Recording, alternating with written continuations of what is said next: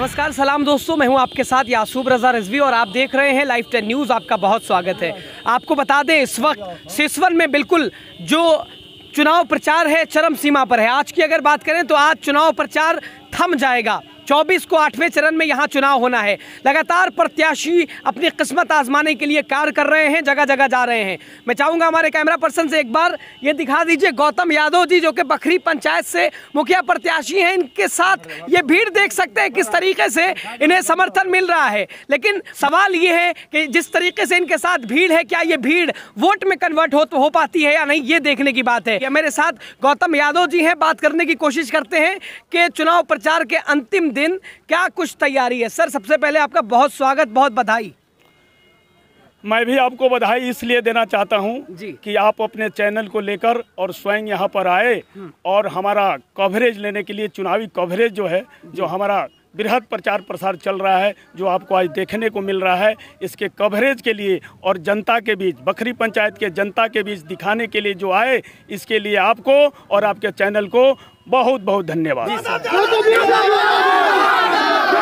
आप देख सकते हैं दोस्तों युवा यहाँ पर इनके साथ इनके समर्थन में खड़े हुए हैं। लेकिन एक सवाल है सर जिस तरीके से ये भीड़ आपके साथ है क्या ये भीड़ वोट में कन्वर्ट हो पाएगी? हाँ बिल्कुल वोट है ये।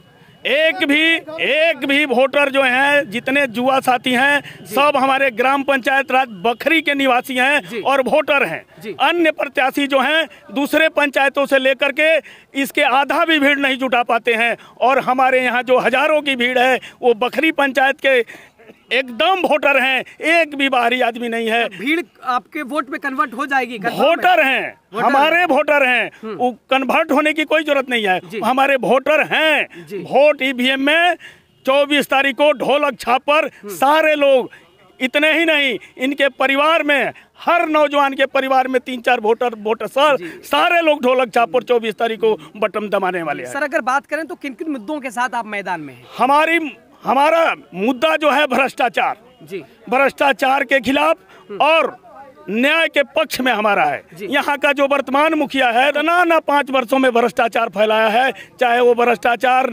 नरेगा में हो प्रधानमंत्री आवास योजना में हो नल जल योजना में हो आज भी एक नल जल योजना में चौदह में से मात्र तीन सैनिक की अवस्था में है और जाली जॉब कार्ड बनवाया है और जेसीबी से जेसीबी से मनरेगा में काम करा करके मजदूरों के के साथ अन्याय किया है, भ्रष्टाचार किया है तो भ्रष्टाचार के खिलाफ लोगों ने, मैं अपने मन से प्रत्याशी नहीं हूँ हज़ारों लोगों ने नौलपुर और विशेषकर सनबरसा उपधि के लोगों ने हमें अपना प्रत्याशी बनाया है।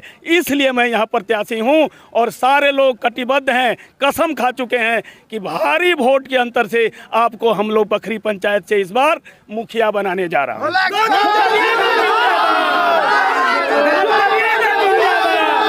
अगर आपको जनता अपना प्यार दिखा देती है तो पहली प्राथमिकता आपकी क्या होगी विकास पहली प्राथमिकता ये है कि मैं जो हमको मैं वोटर नहीं समझता हूँ इतने लोगों को। जी। मात्र वोटर नहीं है। चौबीस तारीख को जो वोट देंगे वो वोट नहीं अपने जिगर का टुकड़ा मुझको देने जा रहे हैं। तो मुझको तो मुखिया बना देंगे अपने जिगर का टुकड़ा दे करके। मैं मुखिया बन जाऊँगा गौतम यादव मुखिया मेरे नाम के आगे पीछे लग जाएगा। लेकिन मैं उतना ही से संतुष्ट हूँ।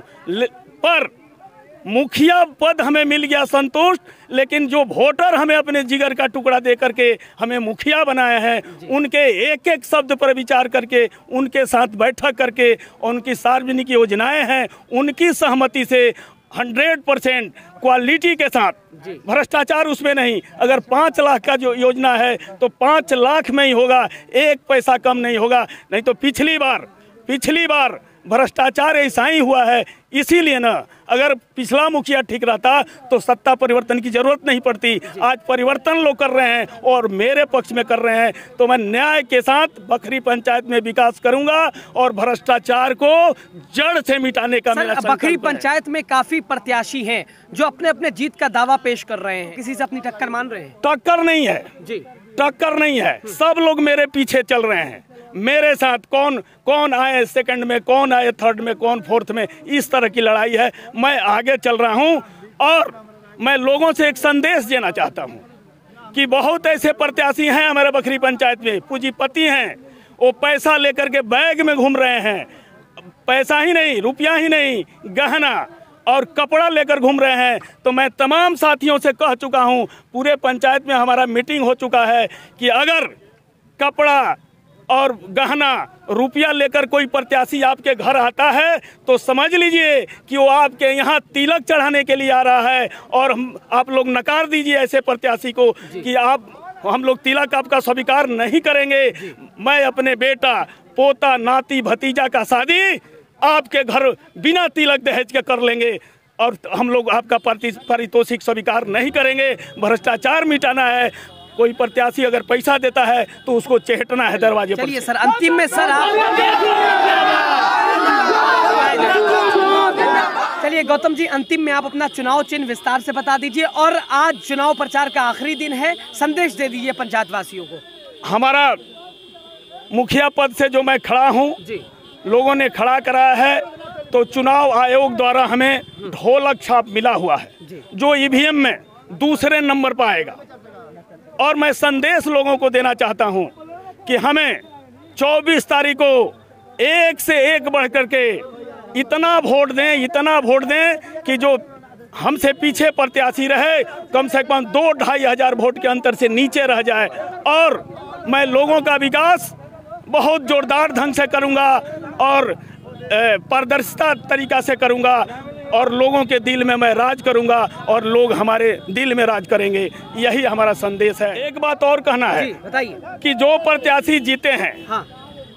निवर्तमान जो मुखिया है उसके पहले एक मुखिया थी नीलम देवी जी। उन्होंने भी भ्रष्टाचार फैलाया।